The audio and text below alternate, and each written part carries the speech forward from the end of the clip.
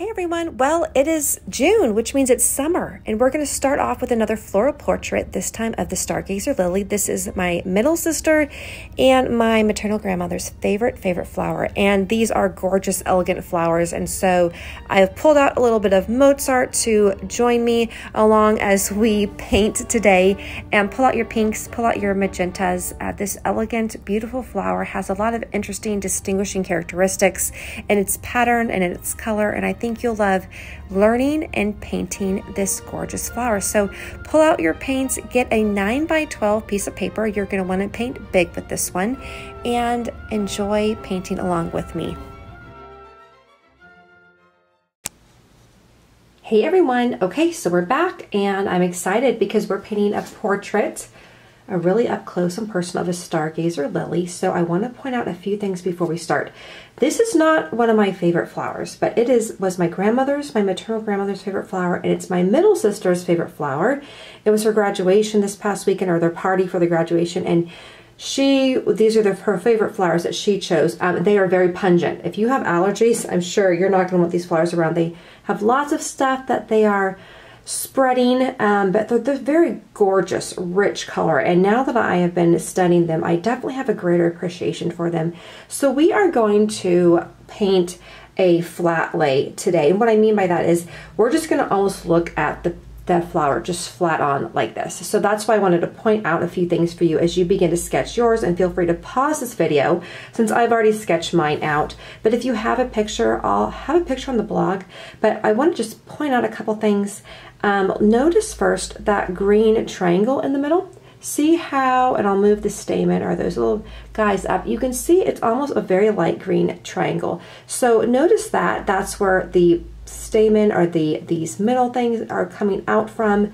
Um, also notice the orderliness and the elegance of the petals. So we've got six petals.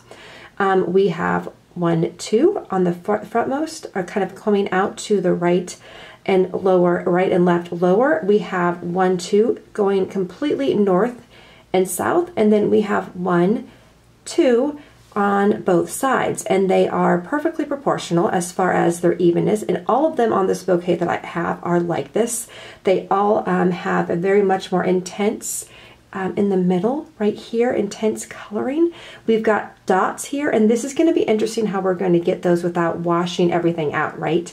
Um, and I have some ideas. We might need to come back. We're going to probably start with doing those little dots so that they can dry and then we can do a wash over them. They will fade, but that's okay. Also, I do, you can see some green coming out, so I have on mine including included a bit of a stem. You don't need to do that. You could just do the flower.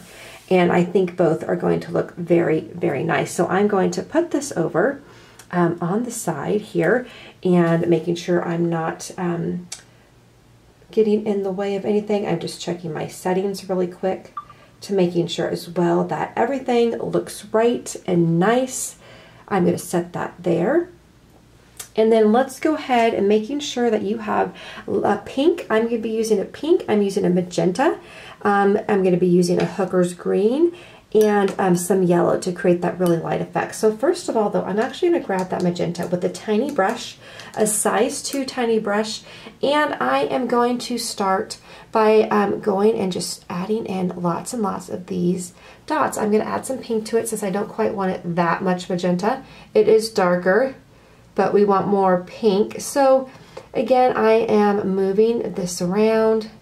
I'm not going to take tons of time but I do want to create that sense of that very distinct feature of those spots, those pink spots and dots that are all over this flower. So go ahead and take that tiny brush and just start creating spots. Do not worry that they need to be really, um, my dad is calling me. Let me silence this really quick. I'll have to give him a call back. That this is really moving around here. Okay, so coming back around down here, coming and building around some more dots here. And you'll notice too, mine are not terribly circular. And I'm not too worried about that. And again, I'm coming back over here. And there's some different sizes. This is going to help you to create some borders about where we're going to paint and also note where your petals are so that when you paint, you make sure each petal is distinguished from the other. We don't accidentally start merging our colors. So one thing to notice as well that every single petal, they have a pretty good white area on the outside. So we're gonna be leaving that white border and doing maybe just a very light pink on the outside of it. Okay, and I too need to make sure that I have all mine moved around here. And we're continuing on. This probably is going to be the most lengthy part. And I'm thinking to myself, I'm trying to keep these YouTube videos around 15 to 20-ish minutes, and I think we might be more on the 20-ish minute side because of these dots. But I'm going to keep on going around and moving and moving around some more.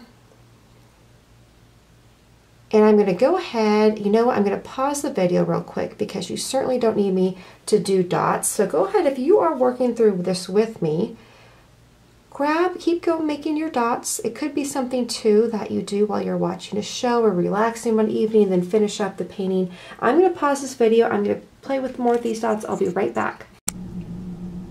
Okay, so I've got all those nice dots created in. Some have more dots than others, just depending on where we were, where the dots were. And so I just try to create them as prolifically or sparsely as um, as, as, the, as the flower had them. So now I'm going to go ahead and I'm going to create a really nice light green. So I'm going to take the hooker's green and I'm going to mix some yellow together with the hooker's green so that we have a really nice light yellow.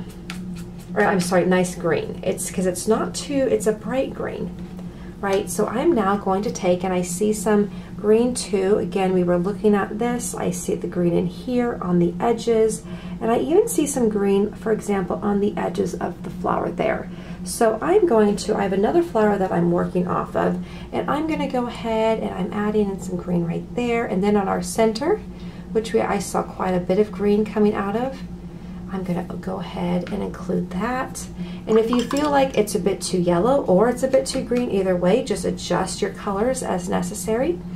I'm going to go ahead and move that out. I'm going to go ahead and lay down my stem as well and my leaf down here and I have another leaf of my flower portrait here and I have the some of the stamen that are coming right out. I've got that and I'll go ahead and lay that down. So that's great. So I've got that down now.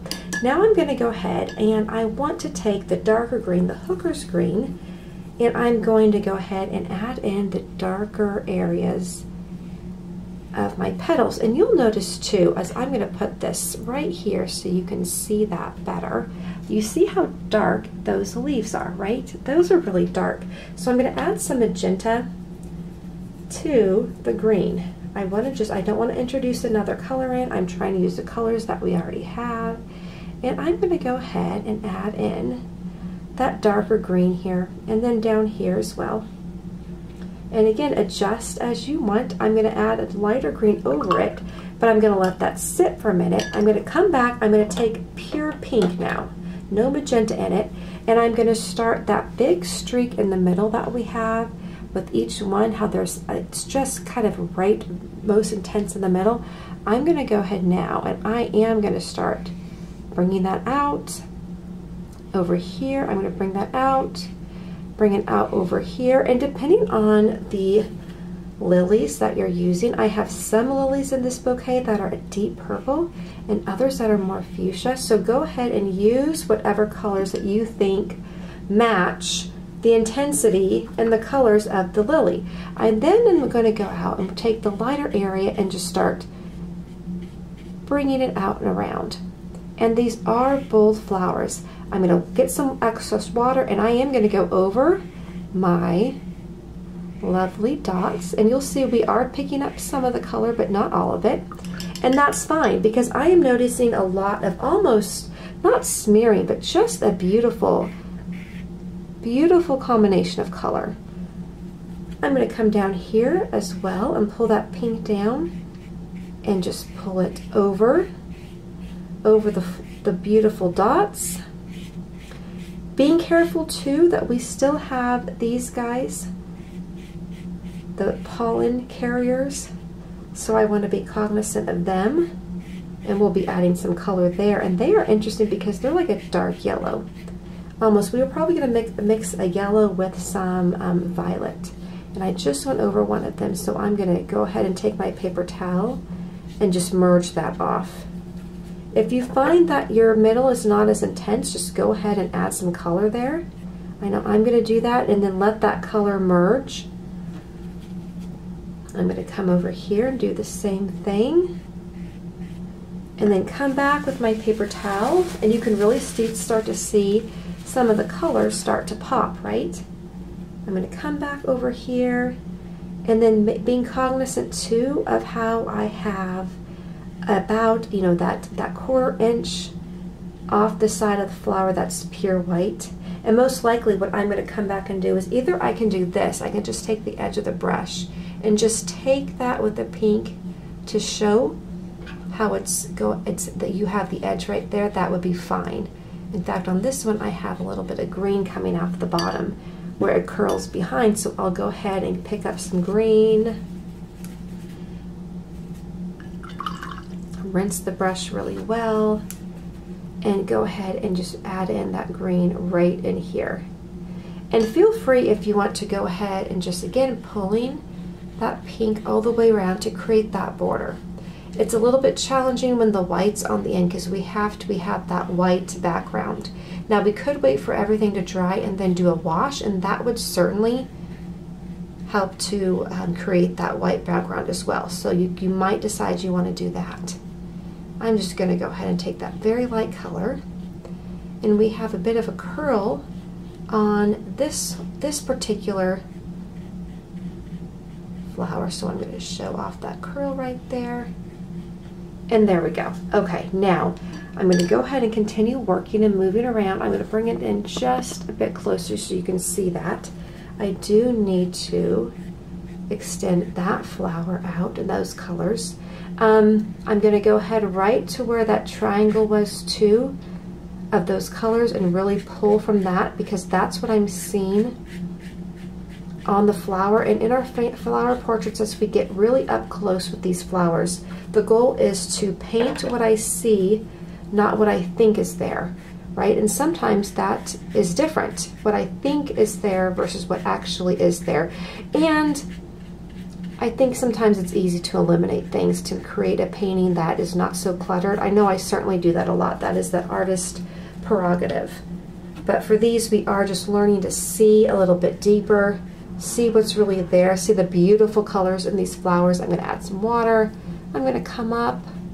And again, I'm just doing that wash over everything, coming down, down, down, deep into the heart of this stargazer lily going around the pollinators, as I like to call them, moving around, and then creating the just that border with the very, very tip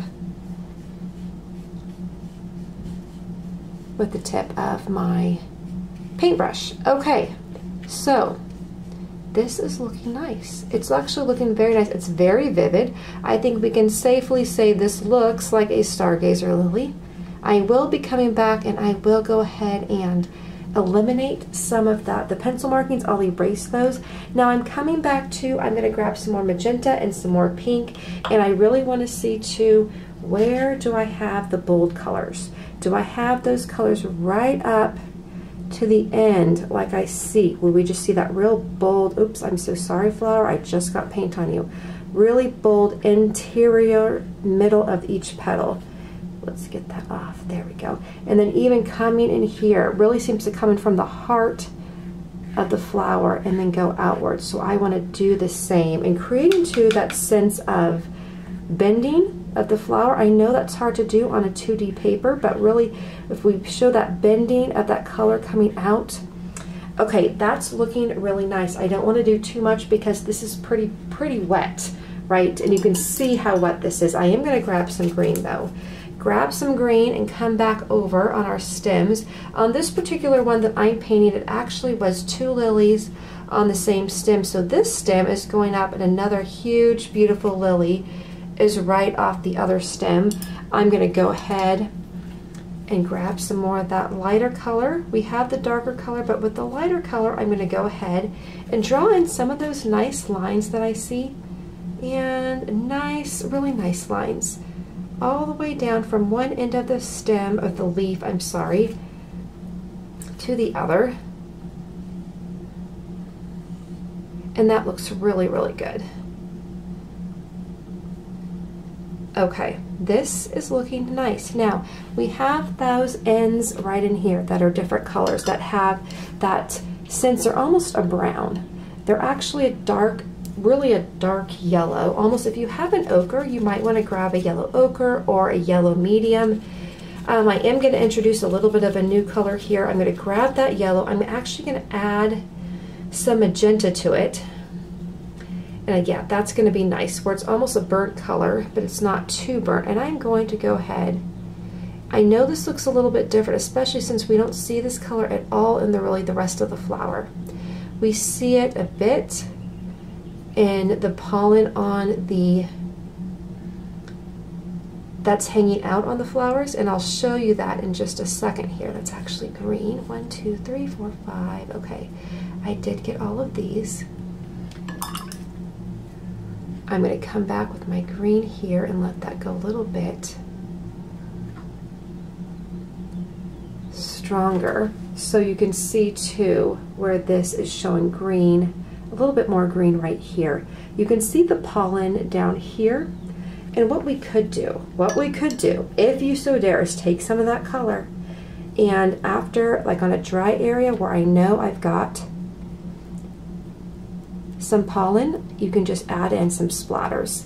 You might want to wait till after this dries. I'm going to be daring and I'm just going to splatter it around just a little bit. There, not a ton, just a little. Now I'm going to let the whole thing dry. I will come back with my micron pen and add in some more detail and probably if you want you can completely come back and add in some more dots if you wanted.